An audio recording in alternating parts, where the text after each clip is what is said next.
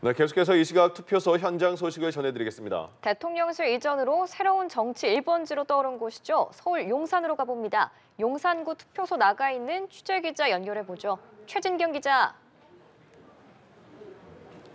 네, 서울 용산구 이촌일동 주민센터에 나와 있습니다. 사전 투표가 시작된 지 벌써 6시간에 다다르고 있는데요. 이곳 투표소에는 점심시간이 임박하면서 투표를 하려 모여든 주민들로 줄이 길게 이어지기도 했습니다. 오전 11시 기준 서울 지역 사전 투표율은 4.99%를 기록하고 있습니다. 이곳 용산구의 투표율은 5.31%로 서울 내 25개 자치구 중 네 번째로 높은 수치를 보였습니다. 이곳 투표소에는 아기를 태운 유모차를 끌고 온 아버지부터 휠체어를 타고 온 어르신까지 더 많은 유권자분들이 찾아오고 있습니다. 소중한 한 표를 행사하기 위해 오늘만을 기다렸다는 분도 있었는데요. 시민분의 목소리 들어보겠습니다. 오늘을 기다렸죠, 많이.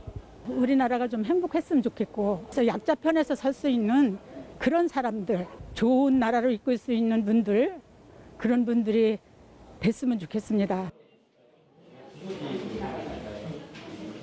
투표장을 향할 때는 주민등록증이나 여권, 운전면허증, 학생증 등 자신의 생년월일과 사진이 나온 신분증을 반드시 챙기셔야 합니다. 신분증을 찍은 사진 등으로는 신분 확인을 받을 수 없는 점 유의하시기 바랍니다. 투표소 위치는 선관위 홈페이지에서 찾아볼 수 있는데요. 인터넷 포털 사이트에 투표소를 검색하셔도 됩니다. 이번 사전투표는 오후 6시까지 진행됩니다. 지금까지 서울 용산구 이촌일동 주민센터에서 연합뉴스TV 최진경입니다.